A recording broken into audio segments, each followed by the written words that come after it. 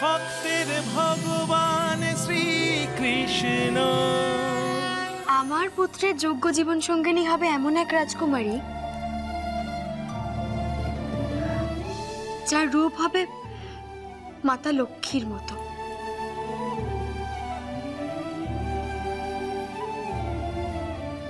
আর গুণে সে হবে মাতা সরস্বতীর সমতুল্য। তা ঠিক দেব কি? যে কেউ তো আর আমাদের কানায়ের বউ হতে পারে না।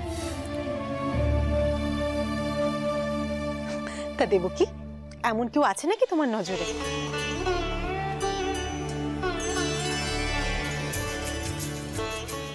মাতা দেবকী কি কাউকে মনে মনে নির্বাচন করেছেন? নজরে পড়েছে তা বলতে পারি না দিদি। তবে তাকে বিদর্ভ রাজকুমারীর মতো লক্ষ্মীমন্ত ও সুশীলা হতে হবে।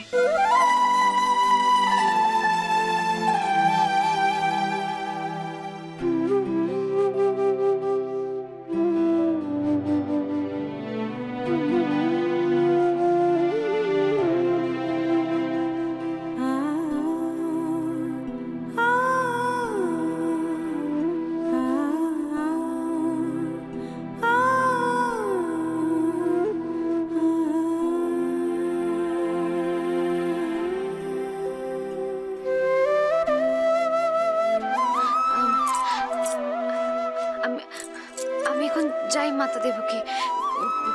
পরে না এসে ও মা এই চলেই গেল।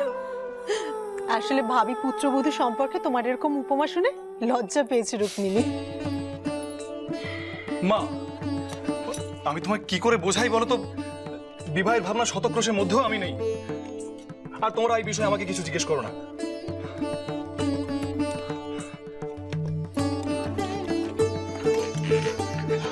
কানাই ভাই আমার, রেগে গেছো বুঝি? কিন্তু তুমি একটা কথা ভুলে যাচ্ছ। ছোট মায়ের ইচ্ছার বিরুদ্ধে তো আমরা কেউই কোনো কথা বলতে পারি না। তাই না?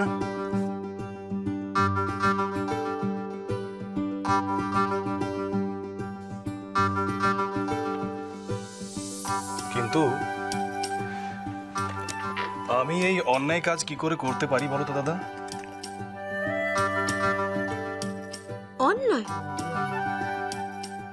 অন্যায়ের কথা বলছো তুমি, কৃষ্ণ?